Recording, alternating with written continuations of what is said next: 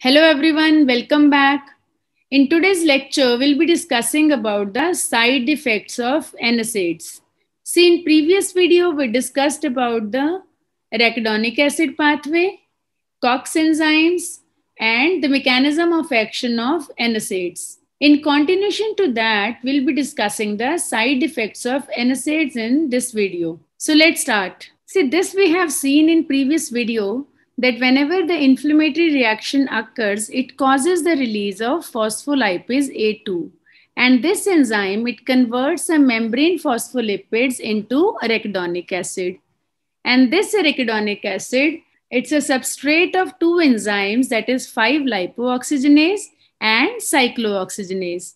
This lipoxygenase enzyme, it causes the conversion of arachidonic acid into leukotrienes and the cyclooxygenase, it causes the conversion of arachidonic acid into prostaglandins. This cyclooxygenase enzyme, it exists in two isoenzyme forms that is COX-1 and COX-2.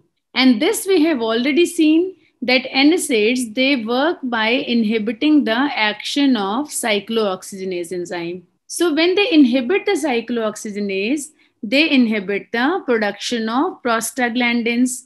And these NSAIDs, they can be of two types that is non-selective COX inhibitors when they are acting on both COX-1 and 2 or they can be selective COX-2 inhibitor.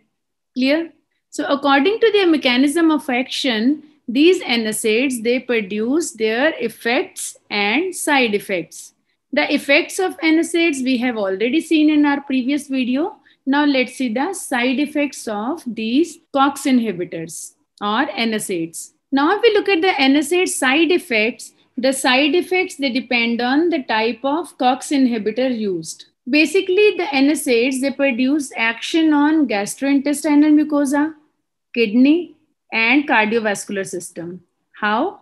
As we know, the COX-1, it is responsible for release of prostaglandin E2, that is PGE2 and PGI2, which causes the gastric protection by increasing the mucosal secretion, increasing the bicarbonate content, and by increasing the mucosal blood flow.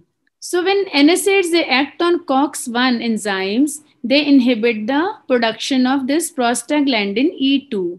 And by inhibition of its production, there will be inhibition of all these actions resulting in peptic ulcers and gastrointestinal bleeding.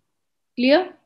Therefore, in patients with gastrointestinal bleeding or ulcers, if NSAIDs are required, we give selectively COX-2 inhibitors, for example, celecoxib, with minimal possible dose.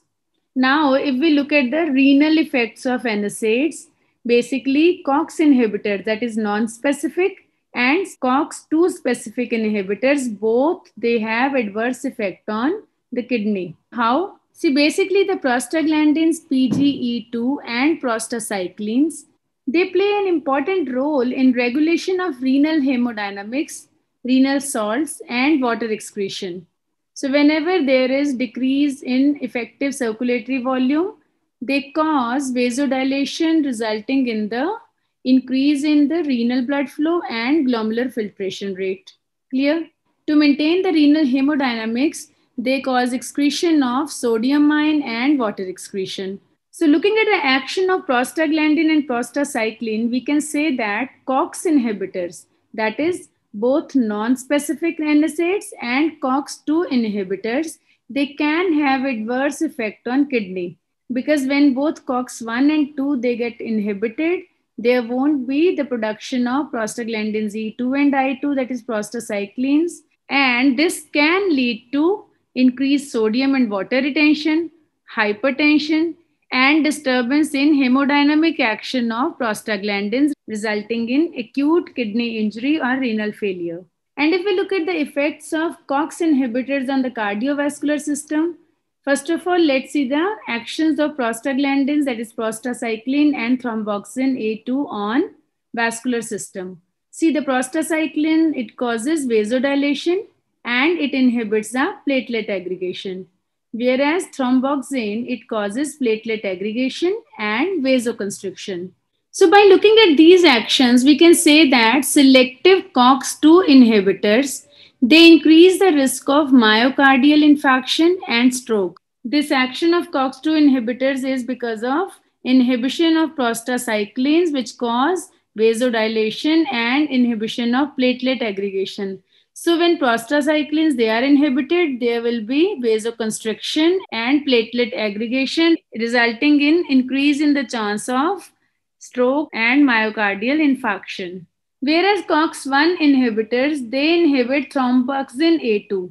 Thromboxin A2, it causes platelet aggregation and vasoconstriction. So inhibition of thromboxin A2, it does not cause much effect on cardiovascular system. Rather, it's a beneficial effect on coronary artery disease because there will be inhibition of thromboxin A2, which causes platelet aggregation and vasoconstriction. So these actions, they won't be able to take place. Clear? So from this, we can also see that COX-2 inhibitors, they have more chances of stroke and myocardial infarction. Clear? Now let's summarize the side effects of NSAIDs which act by inhibiting the COX-1 and COX-2 enzymes, thereby inhibiting the production of prostaglandins.